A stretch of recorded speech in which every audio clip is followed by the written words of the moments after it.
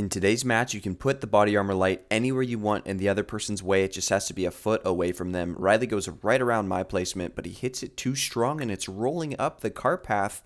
But he gets the help of a little bit of slope. It comes back down and it ends up being a pretty decent shot.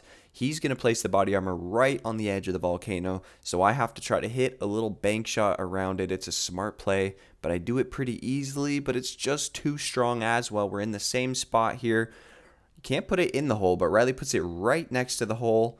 And perhaps a flag on the play here. I actually knock into the obstacle, and my ball doesn't really go in. Let me know if that's a penalty stroke. I'm going to put it on the other side of the volcano for Riley. He tries to go right around it, but that was tricky. I'm going to get the win on this one. Little swag shot there from Riley to make a three.